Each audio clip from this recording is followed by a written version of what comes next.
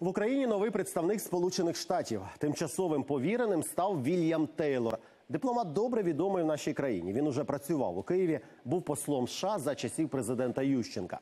Ось тепер повернувся. Скільки пропрацює у новому статусі, наразі невідомо, але вже можна сказати, що Тейлор не витрачатиме часу на ознайомлення зі справами. Він завжди підтримував контакт з українцями.